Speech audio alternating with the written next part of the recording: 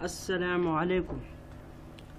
Today I'm gonna tell you about the Holy Prophet sallallahu alaihi wasallam speech in the farewell sermon. This sermon the Holy Prophet sallallahu alaihi wasallam delivered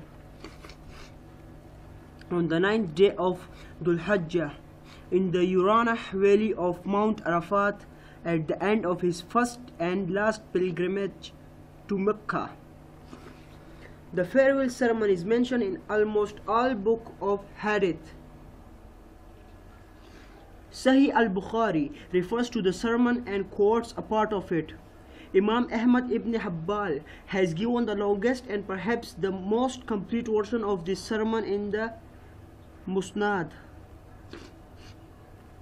Muhammad sallallahu alaihi wasallam led the pilgrims from Mecca through the valley of Mina and up to the mountain of Arafat and then stopped them in the valley of Urana. They stood in front of him silently as he sat on his camel and delivered this sermon. With the crowd of over 120,000 pilgrims, his voice could not reach out to all those who were present.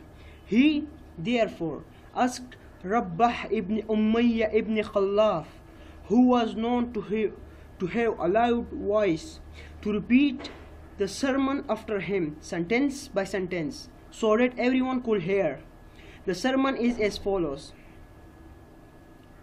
After praising and thanking Allah, the Holy Prophet sallallahu alaihi wasallam said, O people, lend me an attentive ear, for I know not whether after this year I shall ever be amongst you again.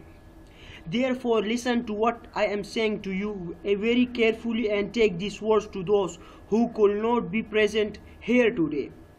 O people, just as you regard this month, this day, this city as sacred, so regard the life and property of every Muslim as a sacred trust.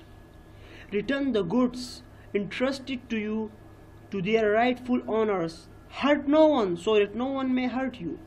Remember that you will need meet your Lord and that he will indeed re-